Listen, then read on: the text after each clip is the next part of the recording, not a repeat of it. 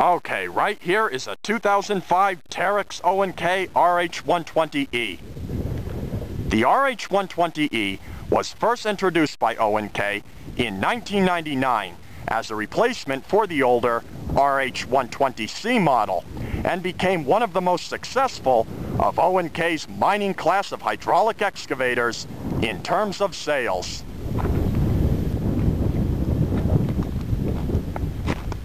The RH120E was available from O&K in either front shovel or backhoe configuration, depending on what the customer preferred. In backhoe configuration, the RH120E was designed to swing a rock bucket ranging anywhere from 19.6 to 22.2 cubic yard capacity. In front shovel configuration, the RH120E was designed to swing a bull clam ranging anywhere from 17.7 to 21.6 cubic yard capacity.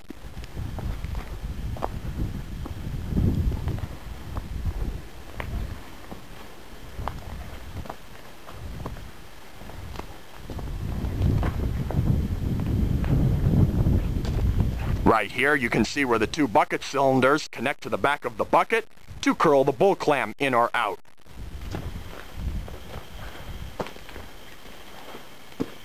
And if you look up top under the boom, you can see where the two stick cylinders are located to push the stick in and out.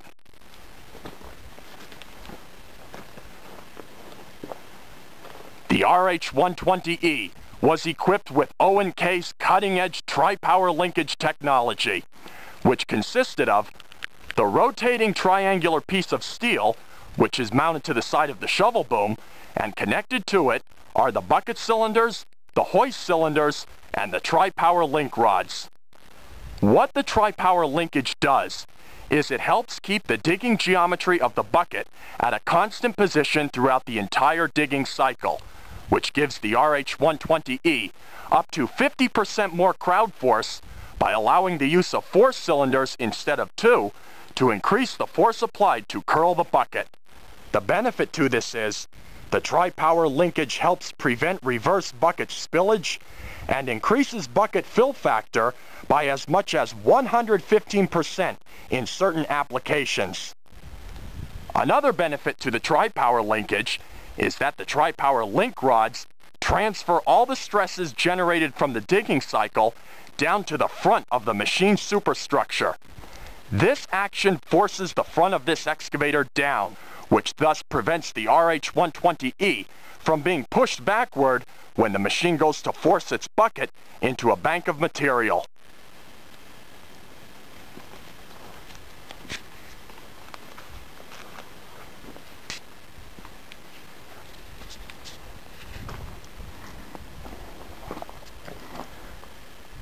Thirty-nine inch general purpose crawler shoes were standard for the RH120E, However, O&K also offered optional narrower 31.5 inch crawler shoes and wider 47 inch crawler shoes depending on the type of ground conditions that the machine would be working on. The RH120E featured a redesigned layout of the bottom rollers on each crawler frame to reduce face pressure. The RH120E has two travel speeds, 0.87 miles per hour at low travel speed and 1.68 miles per hour at high travel speed.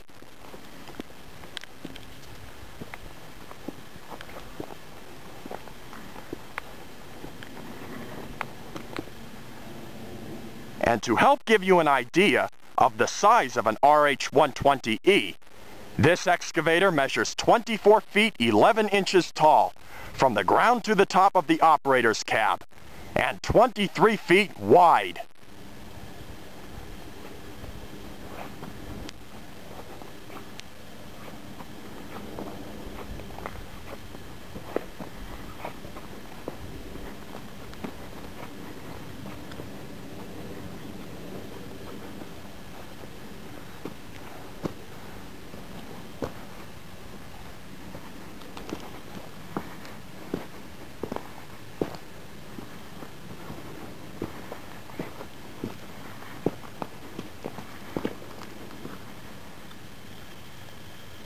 Now, let's go up on top of the RH120E.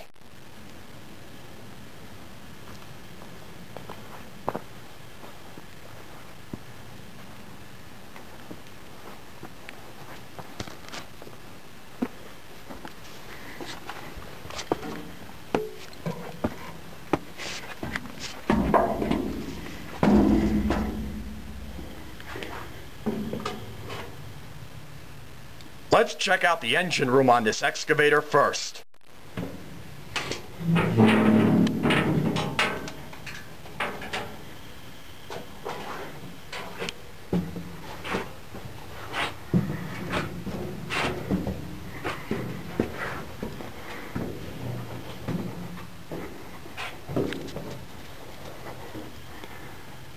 Just like its predecessor, the RH-120C, the new RH-120E was designed as a twin-engine excavator, available from O&K with either Caterpillar or Cummins power, depending on what the customer preferred.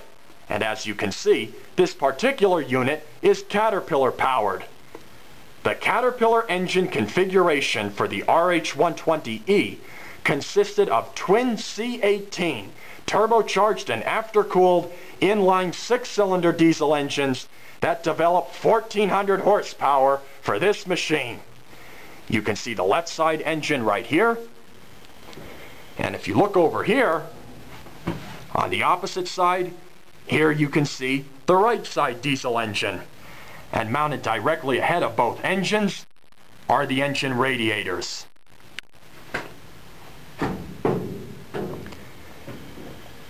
Cummins engine configuration for the RH120E consisted of twin QSK 19C, turbocharged and aftercooled inline six-cylinder diesel engines developing 1350 horsepower for this machine. And for customers who preferred an electric hydraulic machine, O&K offered the RH120E with straight electric power, powered by a single 1000 kilowatt squirrel cage induction motor.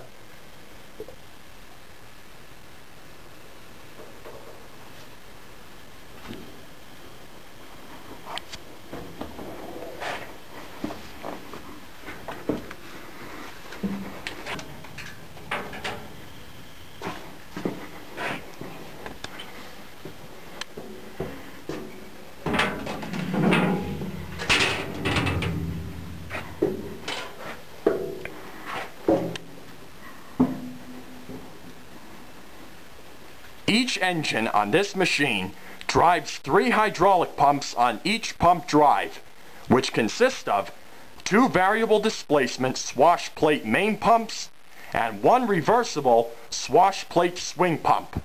The pumps cross feed and the RH120E's pump management system, or PMS for short, will pull additional oil flow from two or four pumps based on demand from joystick position and load. The PMS does this by continually measuring the actual values of the engine output and hydraulic system and compares these values with stored target values, thus permitting improved pump precision. And the benefit to this is virtually no power loss, lower oil temperatures, and increased fuel savings. And from right here, you can get a good view of the hydraulic system on this machine.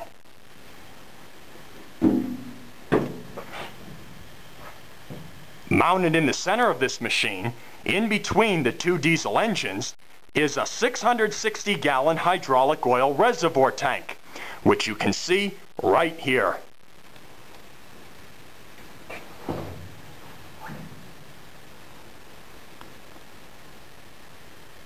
The swing system on the RH120E consisted of two compact planetary transmissions with axial piston motors that power the closed-loop swing circuit with torque control for minimal energy consumption during acceleration and energy recycling during braking.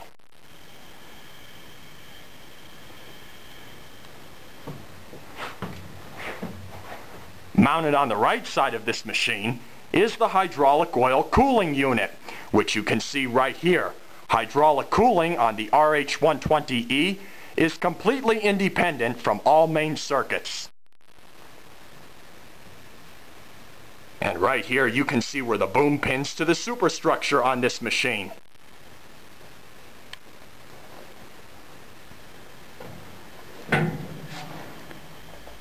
Inside of this compartment, which is located directly below the operator's cab, is the electronic room. Let's go inside and check it out.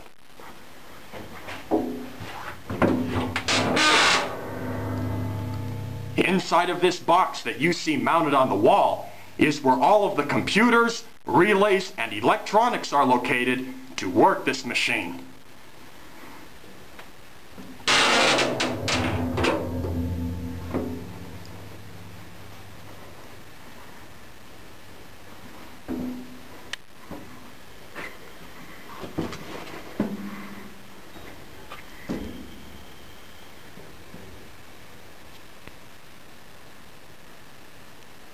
Okay, now let's go up top.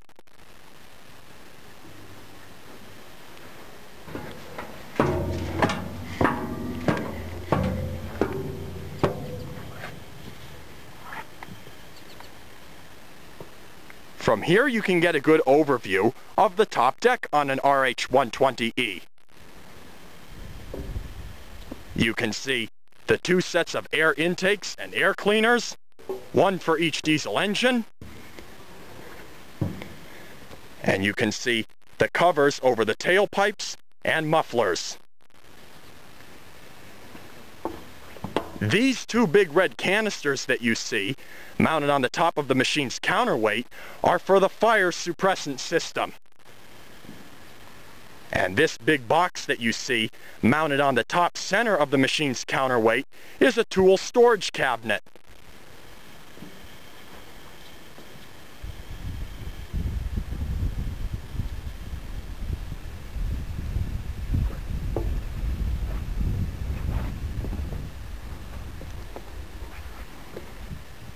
Right here you can see the grease tank for the central lubrication system, which holds 120 gallons of grease.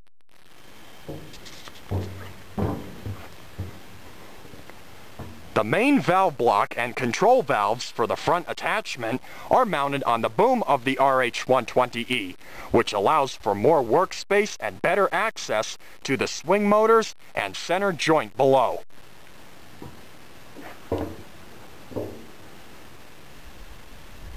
Now, let's go inside and check out the operator's cab.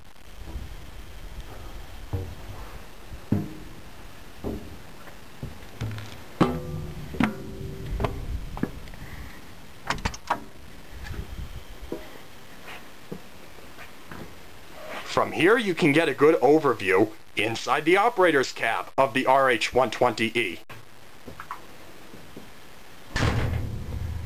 When O&K engineers were designing the operator's cab for the RH120E, they increased the overall cab width by some 12 inches. And this beautiful cab was designed exclusively for O&K's mining class of hydraulic excavators.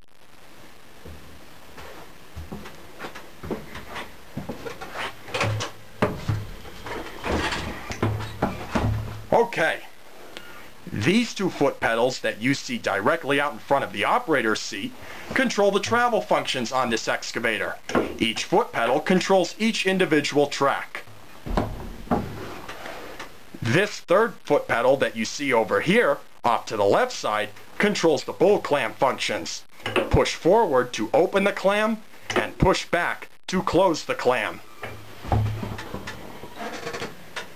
The two joysticks that you see off to the right and left side of the operator seat control all the digging functions of the front shovel attachment in the front, or if this machine were set up as a backhoe. The RH120E features O&K's board control system, which you can see right here. The digital display screen that you see provides real-time information to the operator on the operating status of this machine and will also alert the operator in case of a malfunction. Down below you can see gauges to monitor this machine when it's in operation. And all of the switches that you see on the control tower right here control the left side diesel engine, the right side diesel engine, and you can see other control switches to work other various functions on this machine, such as for the front headlights and windshield wipers. And from right here, you can get a crystal clear view of what the operator would see if he were running an RH-120E.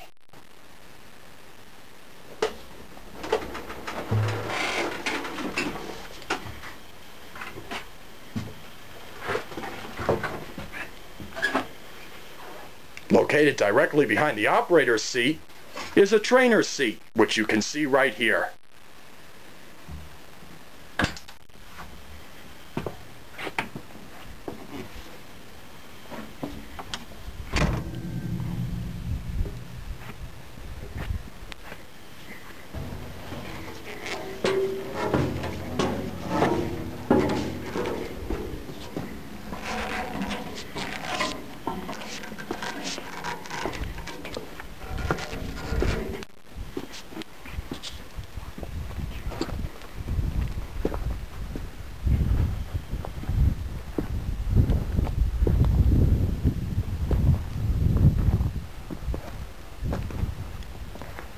Mounted below each diesel engine, alongside of the machine's superstructure, are two 1,416-gallon diesel fuel tanks.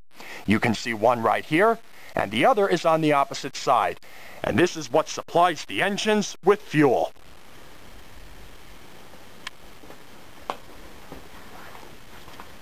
The RH-120E features a centralized service fluid filling station.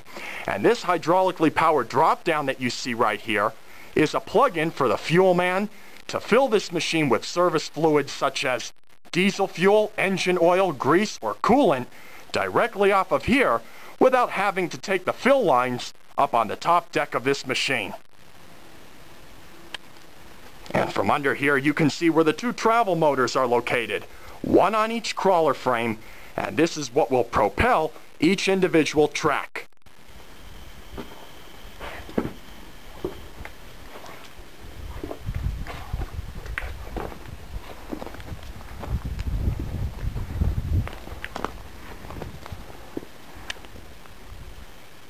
And on the right and left side of the counterweight, you can see the two vents for the engine radiators.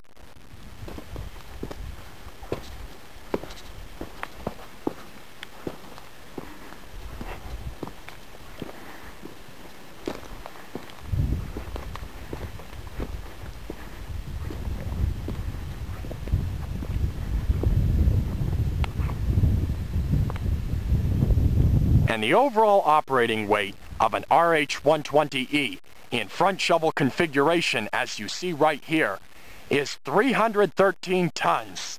In backhoe configuration, the RH-120E weighs in at 316.4 tons. In December of 2009, Terex announced it would sell its mining division to Bucyrus International, and by February of 2010, the deal was complete. In mid-2010, during the Bauma trade show in Munich, Germany, Bucyrus introduced an improved version of the RH-120E, flying the Bucyrus International colors, that featured an all-new Caterpillar engine configuration. Replacing the smaller C18 diesel engines were twin C27 V12 diesel engines capable of producing 1530 horsepower to maximize the machine's performance. However, the O&K excavators would not fly the Bucyrus colors for long. In November of 2010, Caterpillar announced it would acquire Bucyrus International, and by mid-2011, the deal was complete, and the former RH-120E was renumbered the Caterpillar 6030. But there she is, the most successful O&K hydraulic mining excavator in terms of sales, the RH-120E.